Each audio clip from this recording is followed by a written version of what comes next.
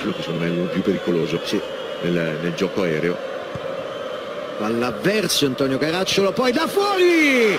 Un grandissimo gol di Seung Woo Lee! 3 a 1, eccolo qua lì. Bravo perché ha impattato benissimo questa palla, una palla che usciva veloce, l'ha l'ha impattata bene, ha trovato la porta e questi sono i tifosi del Verona che esultano per questo bel gol della propria squadra.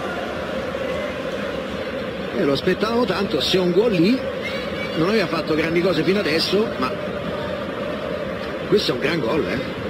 Molto bello, molto bello perché sul rinvio di testa non si rinvia mai centralmente, però questa non era una palla facile, l'ha vista lui.